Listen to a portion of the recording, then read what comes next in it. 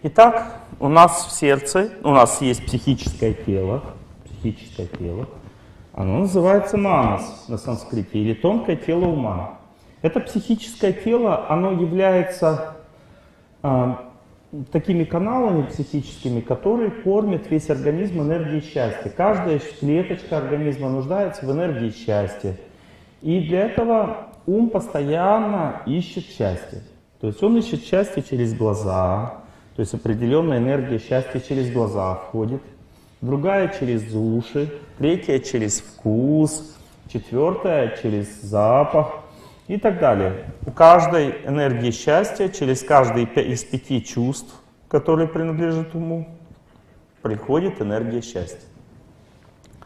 Но она имеет разное значение. Допустим, через вкус энергия счастья, которая приходит, она предназначена для того, чтобы тело получало прану, психическую энергию, чтобы она такое сильная становилась, здоровенькая. Как, допустим, ребеночка берешь, он такой крепенький такой. Значит, он достаточно праны имеет в организме. И хочется его пометь, так почистить. А бывают такие, вяленькие дети такие, как бы праны мало. Это значит, нужно больше свежего воздуха, больше кормить этого ребенка для того, чтобы у него через вкус и через запах получалось больше энергии. Понимаете, тело питается через вкус и через запах. Нужно дышать и нужно кушать. Тело наполняется энергией здоровья через запах и через вкус. Поэтому нужно свежий воздух вяленькому ребенку и нужно хорошее питание. Два чувства. Чувство обоняния дает энергию телу и чувство вкуса. Следующее чувство зрения наполняет силой ум уже. Сам ум работает хорошо через зрение, поэтому большинство людей, так как у них с умом проблемы, так как настроение плохое, настроение плохое, что мы делаем? Садимся, включаем телевизор щелкаем. Где энергия для ума? чтобы я успокоился. И каждый успокаивается в своей сфере. Кому-то нужно посмотреть дефектив. Ну где? Стреляет. Ну, слава Богу, стреляет хорошо. Так, кому-то надо посмотреть ну, порнографию какую-нибудь, ему тоже легче становится. Вот, ну что-то каждому что-то свое, понимаете, надо посмотреть, чтобы в уме стало легче. Вот, ум наполняется через глаза силой. А вот разум, который меняет нашу жизнь, что такое разум? Это сила, соединяющая с источником счастья. Вот что такое вера? Вера — это шнур, который соединяет меня с Солнцем. Чтобы я загорелся, я, допустим, лампочка, мне надо гореть, я должен быть соединен с Солнцем, с источником энергии. Вот это вера, которая соединяет меня с источником энергии, чтобы по, по нему текла энергия счастья. И я что-то раз загорелся. Разум — это такая сила, которая может соединить, эту соединительную систему установить.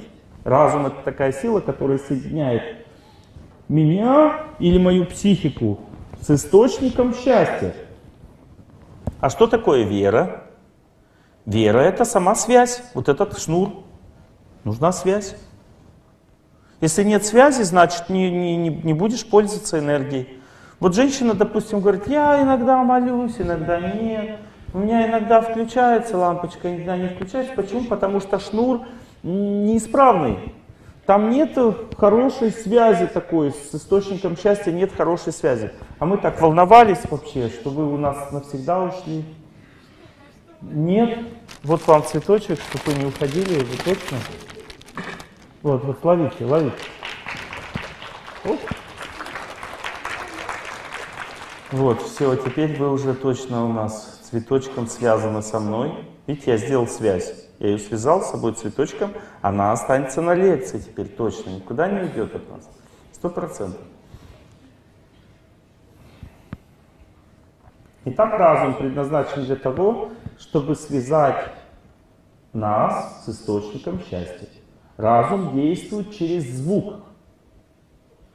И человек через звук может нащупать источник счастья. Не через глаза, а через звук. Поэтому увидеть человека хорошо, но если ты хочешь с ним жить, ты должен его послушать сначала, пообщаться с ним, поговорить. Потому что надо понять, как действует его разум. Встречаем по уму, а провожаем по разуму. Понимаете, встречаем по красоте человека, это умственная энергия, красота, а разум это то, как человек будет жить. Как с ним же жить надо? Мы же не с красотой человека живем, а с человеком самим, так? Поэтому надо узнать, как он общается, о чем он говорит. Может, он вообще по фене ботает. И как с ним тогда будешь разговаривать? Уже тяжело, тяжелее, да? Он как-то там по жаргону, как-то по-своему. Тяжелее уже будет жить. Ну, то есть у каждого человека свои представления о жизни. И это все называется разум. Разум — это то, человек стремится к чему в жизни, куда его дорога по жизни идет. И если разум связан с Богом, то есть солнышком, представляете, сколько силы у человека у этого? Допустим, один человек связан с другим человеком. Получается, тоже хорошо. Две лампочки уже больше света, да? Одна другую вытекает, одна погасла, другая загорелась. Они друг другу помогают. Но представьте, если они связаны с электростанцией. У них сразу много света у обоих. Это все для вас кажется теорией. Просто, ну, понятно, что если вы не будете это все использовать, ничего вы и не поймете из этой лекции. Понимаете, вот женщина сказала, я начала молитву, мне стало легче. Женщина сказала, я почувствовала, что что-то плохо, что-то плохое почувствовала. Она даже еще, может, точно не понимала, с кем, чего, ей просто плохо в сердце стало, потому что мама же не спрашивала, ей нужны силы, и она сразу начала с нее из сердца тянуть, потому что мы же связаны друг с другом в сердце, понимаете? Мы связаны, хоть мы этого не знаем. Почему мама ребенку плохо, допустим, на улице, а мама чувствует это, потому что она с ним связана. Она чувствует это на улице, чувствует, и она бежит к окну. Вася, ты где? У меня мама всегда звонит, когда мне тяжело, она звонит. Олег, ты где? Я говорю, в Новосибирске. У тебя все нормально? Мама звонит всегда, почему? Когда мне плохо, тяжело, я болею. Я говорю, мамочка, все классно. Она, я думала, ты болеешь. Понимаете, то есть связь есть даже. Она там находится в Тольятти, я в Новосибирске, где-то там сколько, 3000 километров расстояния, все равно связь есть.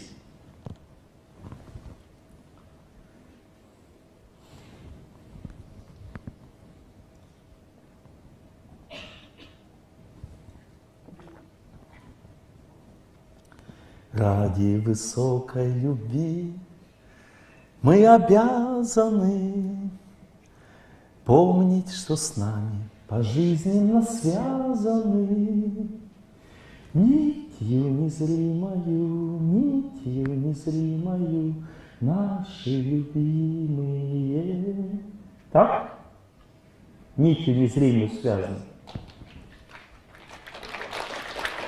Помнить надо об этом. Помнить означает включать связь. Это надо это включать связь. Вот эта девушка говорит, я маму могу забыть.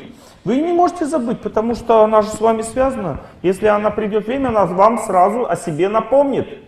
Вы почувствуете, вспомните ее в сердце, значит ей нужна помощь. Вы почувствуете ее. Просто мы об этом не задумываемся. Мы сейчас образование такое проходим. Как помогать своей жизни, как сделать так, чтобы муж никуда не делся. Вот хорошо, когда жена готовит дома, она знает, у нее есть связь с солнышком, у нее с Богом есть связь, она такая сильная, наполненная, сияет от этой энергии связи с Богом. И она знает, что муж никуда не денется. Поэтому она не ревнует.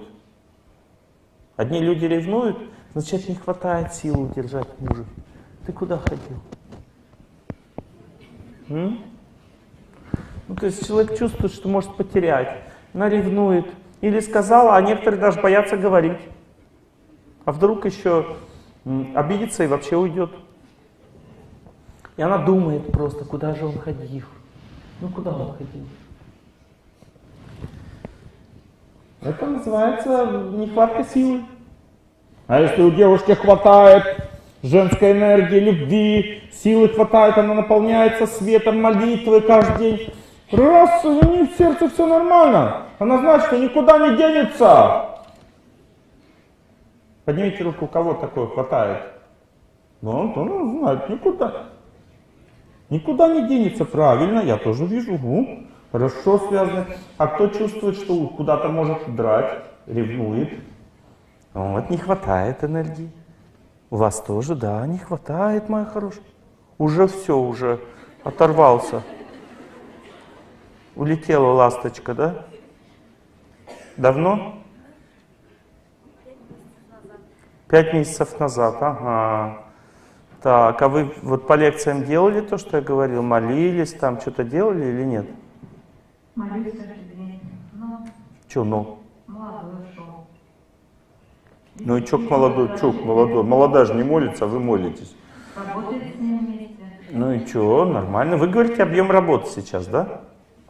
Или о чем вы говорите? Я молюсь. Вы говорите об объеме работы. Он виноват? Я всегда слушала ваши лекции, всегда думала, что если я не смотрю на других мужчин, мой муж никуда не денется. А потом говорю, вот взял, ушел. На 15 лет младше, нашел себе. Вот горшок пустой, да, он предмет простой. Он никуда не денется. И потому горшок пустой гораздо лучше ценится. Но с медом. Если горшок с медом, значит тогда может куда-то деться, да? Мед же сладкий. Он нравится, мед нравится кушать всем. Вы говорите сейчас объем работы. У меня вопрос. Сколько вы молитесь? Все пять месяцев? Да, А вы думаете о святом человеке во время молитвы или о муже думаете? да, Так, супер. Итак, думайте о святом человеке. У меня к вам вопрос.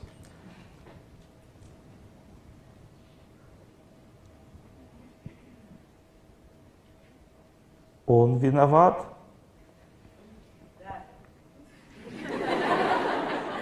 Не нервничайте. Или, может быть, между вами вина уже стоит? Где вина находится? Ну-ка, вспоминайте, сейчас думайте. Даже не могу сказать. От тебя до меня дальняя дорога. Он приходит и говорит, Уже приходит? вот у нас сын 12 Ну, ну, уже приходит. Классно? Он приходит и говорит, что у нас семья, разные, самые близкие для меня. Супер, А, Я супер. жить так, что там, а, значит, любовь. А там мед, да? Там горшок с медом, да? Хорошо, так, хорошо. То есть вы самые родные, а мед там. Хорошо, супер. Классно. Кто виноват? Вот когда ушел, кто был виноват?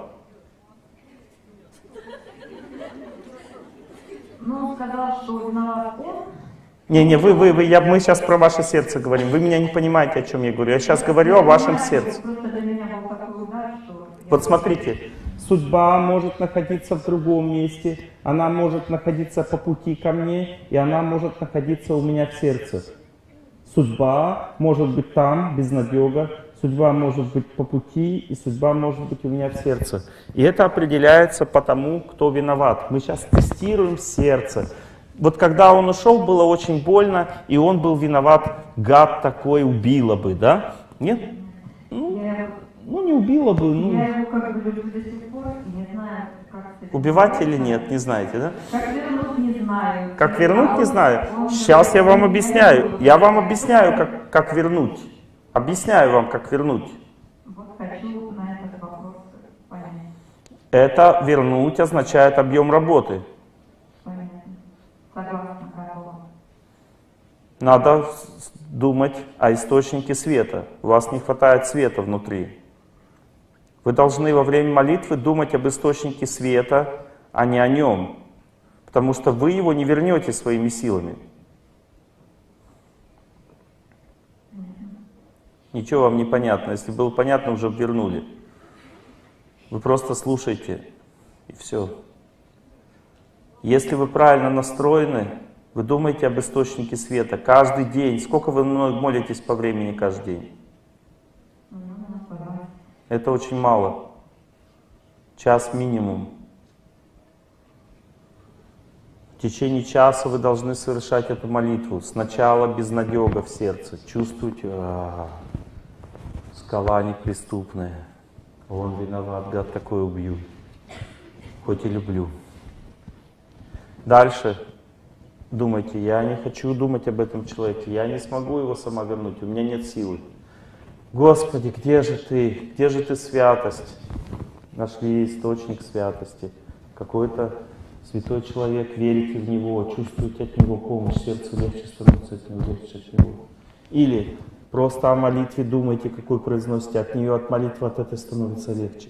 Или от святого места какого-то становится легче, чувствую, смотрю, легче становится.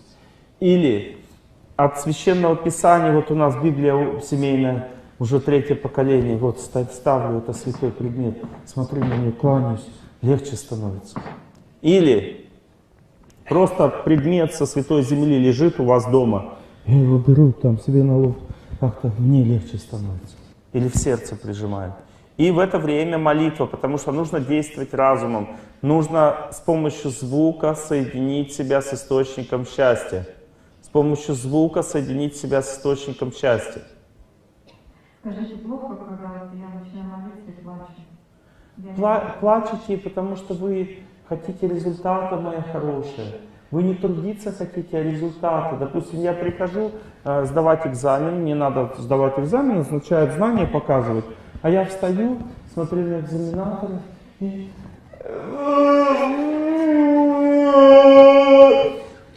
Он говорит, ты что орешь? Или ревешь на меня? Я не знаю. Они говорят, что, четыре хочешь? Да. Люди плачут от чего? Того, что хотят результата быстрее, чем положено. А вы пять хотите, да, смеетесь надо мной? Меньше, да? Молодец. Ну вы не плачете? Всяко бывает. Всяко бывает, значит получите четыре. Человек, который хочет больше, чем положено, никогда не получает то, что надо. Чтобы получить пять, надо забыть про пять. Нужно трудиться и трудиться в своем сердце, радоваться преподавателям. Два вида труда. Первое, уважение к преподавателям, не навязываться к ним. Я не, не претендую ни на что. Я не собираюсь как бы возвращать мужа, это Бог решает вообще. Я, может, недостойно жить замужем, извините. Но я хочу попробовать свои силы. И я хочу сдавать экзамен. Я начинаю молитву, я хочу сдавать экзамен. Вы мне принесли воды, да? У меня цветочков больше нет, простите. А я бы дал вам обязательно. Вы мне подарите цветочки в конце лекции, да?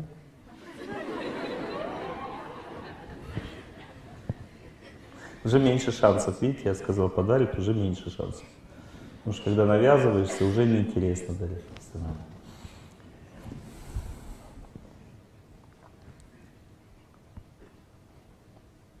Так, уважительное отношение к преподавателям, сразу им легче на сердце становится. У вас же с ними связь, то они вам пятерку будут ставить или не ставить. Если вы уважительно к ним относитесь, легкое чувство к ним такое, пожалуйста, поставьте, как считаете нужным. Это же сердечная работа. Мне хочется пять, хочется пять. А я побеждаю свое сердце с помощью молитвы.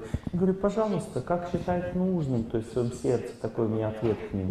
И не сразу раз как солнышки просияли. Они чувствуют хороший человек. Эти все задолбали уже студенты со своими желаниями.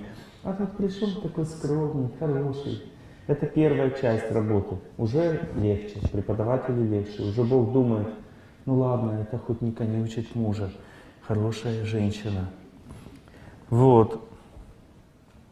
И второе это труд. А что за труд нужен? Труд по восстановлению связи с источником света. Люди-то почему страдают все? Потому что они на себя надеются. Они сами хотят мужа вернуть. Понимаете? А мы по своей природе зависимые. Мы рождали сами себя или нет? Нет. Мы можем без воздуха жить? Нет. Мы без пищи можем жить? Нет. Мы без воды можем жить? Нет. Мы сами себя из этого мира уводим? Нет. Приходит время, мы оставляем этот мир. Точно так же, понимаете, мы зависимы, это означает, что нам всегда нужна какая-то сила в жизни. И если человек на себя только надеется, муж ушел, вернись, я все прощу. Вот. А он не возвращается, у него там мед, а здесь меда нету. Почему здесь меда нет? Потому что точно так же, как он от вас ушел, вы в прошлой жизни также ушли от своей жены в прошлой жизни, будучи в мужском теле. Я даже вижу, когда конкретно и как это произошло, да. Вот. И за это вы сейчас ответили. Но мы же не знаем об этом. Чтобы об этом узнать, надо опять. Знание приходит от того, что человек со светом связан. Это называется озарение. Человек молится, молится, думает о святости. И в какой-то момент, бац, он чувствует, что он виноват сам. Судьба приходит назад в сердце. Она сейчас почему из сердца убежала? Потому что у вас нет знания, во тьме. Понимаете, знание вместе со светом ушло из вашей жизни. Вы думаете, нет, да не вернется, там красивая, а я уже не такая молодая. Понимаете, они вместе работают, а я с ними не работаю. Вот, у вас как бы есть объем работы. Вот все, что вы назвали, это объем работы. И все. Все равно она не может быть сильнее Бога. А Бог вас соединил с Ним вместе. Вас, это ваш муж, а не ее. Это ваш он соединил вместе, это между вами находятся дети, вы две крыши этого домика, а в них живут ваши дети. Бог создал этот дом не зря. Трое детей. Бог создал не зря этот дом, чтобы он дальше жил, этот дом существовал. Но вам надо сдавать экзамены сейчас для того, чтобы этот дом остался жить. Эти экзамены сдаются непросто. Понимаете, я 20 минут молюсь, молилась, пошла. Ничего не изменилось, Олег Геннадьевич. Почему? Потому что вы это делаете, знаете, точно так же, как вот иногда человек, ну, ну просто что-то делает формально. Искренне? А что так мало тогда? Ну 20 минут вам, наверное, чуть-чуть облегчение наступает где-то сердец. Чуть-чуть, и вам этого хватит. Ну там ребенок перебегает а знаете, почему он прибегает? Потому что когда человек начинает молитву, все к нему прибегают. Даже тараканы будут подползать. Я когда начинаю молитву, даже муха одна, представьте, муха ко мне подлетает и мучает меня. Когда человек молится, он всем нужен. Телефоны начинают звонить. Все хотят энергию счастья вашу. У нас же счастья нет никогда. А когда появляется чуть-чуть, вот когда человеку звонят, когда он кушает, когда он спать ложится, когда он в постели с кем-то лежит, все звонят сразу. Почему энергия счастья чуть появилась, сразу все звонят. Всем нужна энергия счастья. А если уж вы с солнышком соединили свою жизнь, со святостью, тогда тем более будут звонить, все подбегать. Нормально, продолжаем молиться. Ребеночку сказали, дальше молиться. Не останавливайтесь. Знаете, я вот много лекций, уже много семинаров на эту тему провел и знаю точно ответ. Почему всего 20 минут? Знаю точно ответ. Вот скажите, какой ответ? Ну, лень, да, это факт, но есть еще более отрезвляющий такой ответ. ответ. Вот она, она не знает этого ответа, а я знаю. Может, вы знаете, скажите.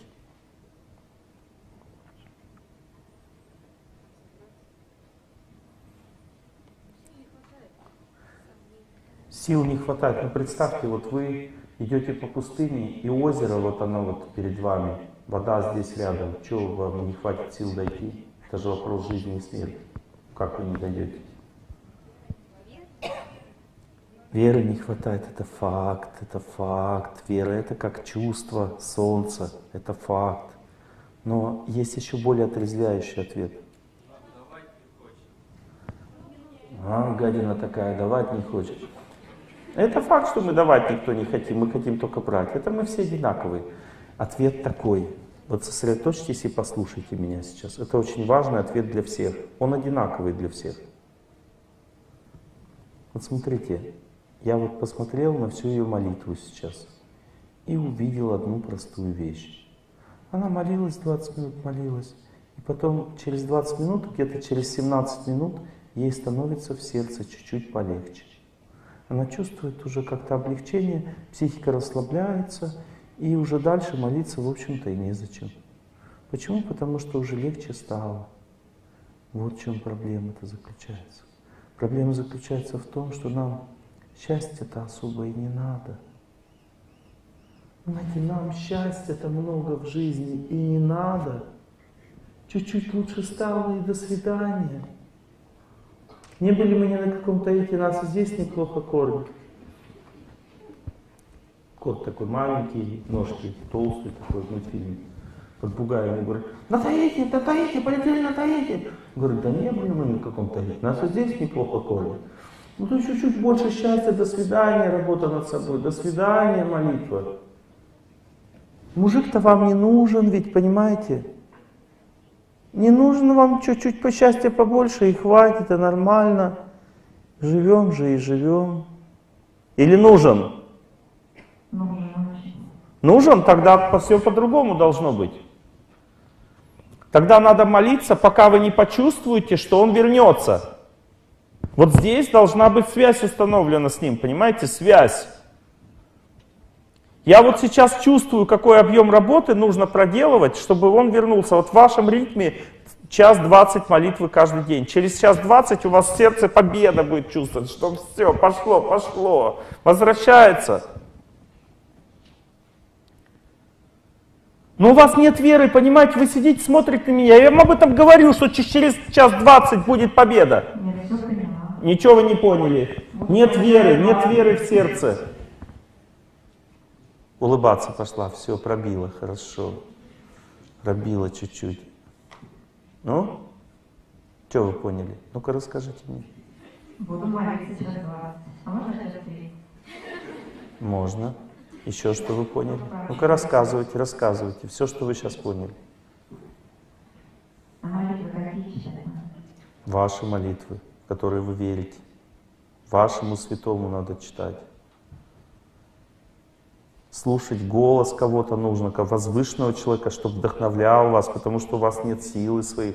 У вас душевная сила очень слабенькая сейчас. Вы израсходовали все свои силы. Вы своими силами хотели его вернуть.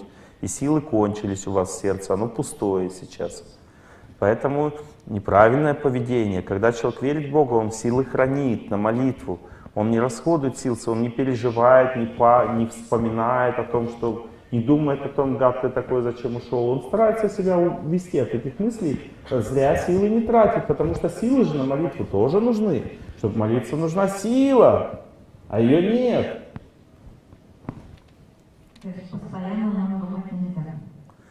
А вы, вы думаете, когда? Вы что делаете? Вы пытаетесь своими силами его вернуть назад. А своими силами вы его вернуть назад не можете, потому что селенок у вас не хватает. И в результате вы истощаете и становитесь несчастны. Понимаете, чувствуете поражение, а не победу. Поэтому не надо о нем думать. Это как война, понимаете, когда большими силами атакуешь один раз. Победил, отдыхай. Понимаете, а если ты постреливаешь там туда-сюда, туда-сюда, никакой победы не будет, потому что всех убивают в это время.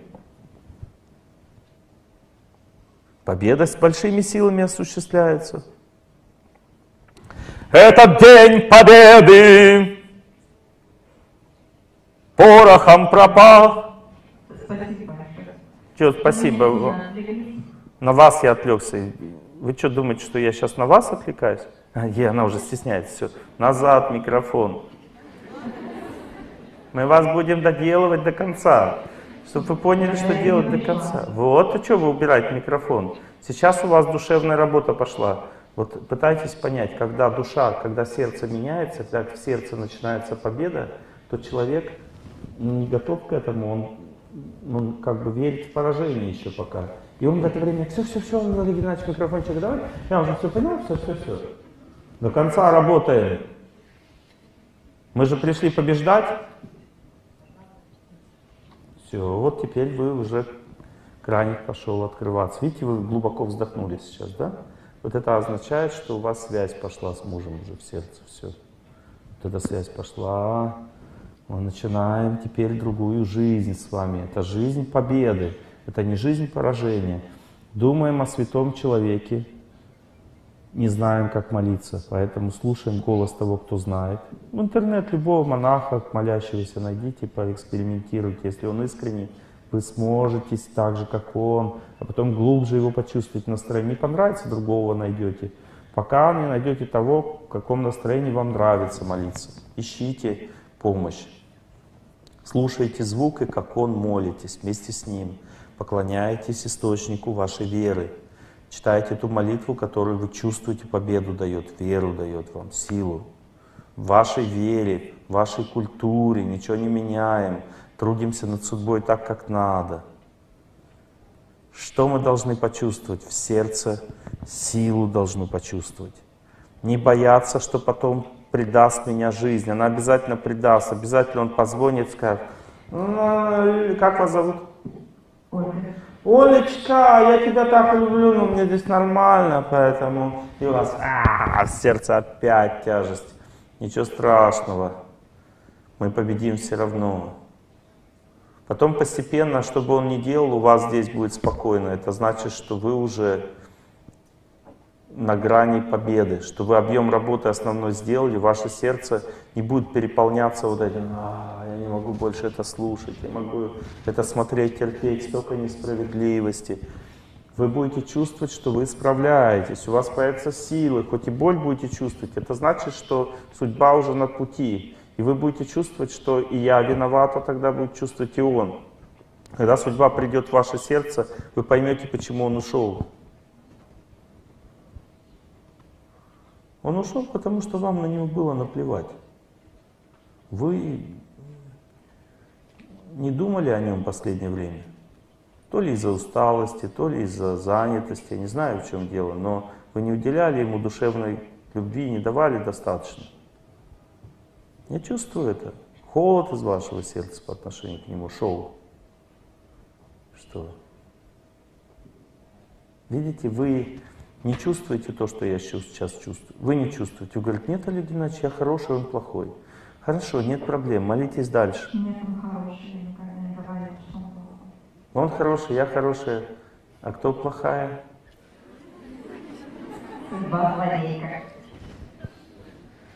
Судьба ваша вас учит просто и все. У вас все получится. Вот сто процентов. Я на вас посмотрел все это время. Мне нет никаких, никакого маленького, малейшего чувства, что он уйдет навсегда. Я чувствую примерно срок, когда его потянет. Где-то через шесть с половиной, семь месяцев его потянет назад. И если вы до этого времени проделаете свой путь, то он как просто он влетит в вашу жизнь назад, как, как резинка натягивается и улетает, как жгут. Натягивается и потом летит назад. Так и он летит назад в свою семью, как ободранный пес с надписью «Кабелина на лбу».